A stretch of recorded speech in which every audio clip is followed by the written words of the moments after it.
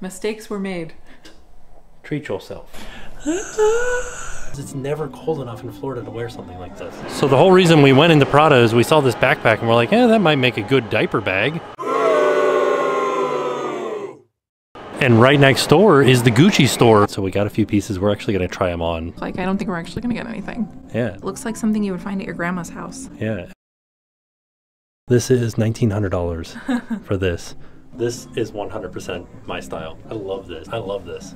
I love it. We should get this for you. Yeah, I love it. It has a little bit of an edge to it. Yeah. It's never cold enough in Florida to wear something like this. It's never cold enough in Florida to wear something like this. I know, but it's it was cold the other day. One day out of the year. Oh, but I love it. I love it. It makes me feel cool. Yeah, you look cool. I feel cool. Yeah, you look cool.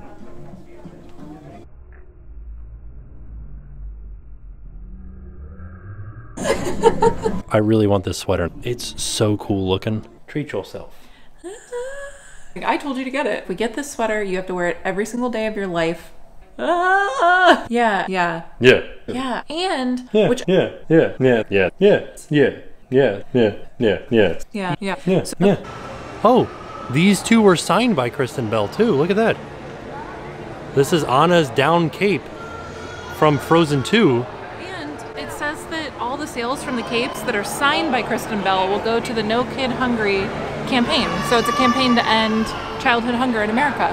How much is a signed cape? I'm gonna ask real quick. And they said that they were originally 2000, but right now they're on sale for 500, which is that's a deal. That's a deal. Wow. If it were cold here, I would totally wear like a down cape.